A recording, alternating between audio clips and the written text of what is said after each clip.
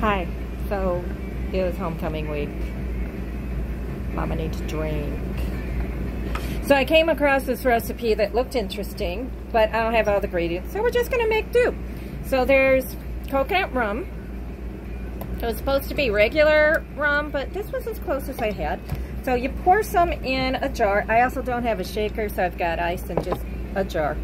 And then a bit of orange juice. I have those little cuties, so we're just gonna squeeze, it looks like 18 drops of that in there.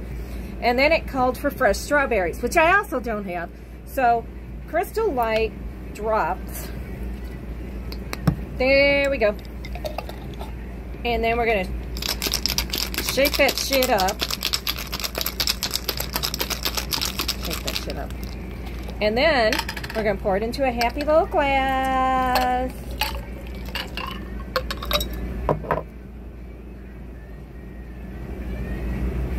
Well, isn't that interesting? Next time.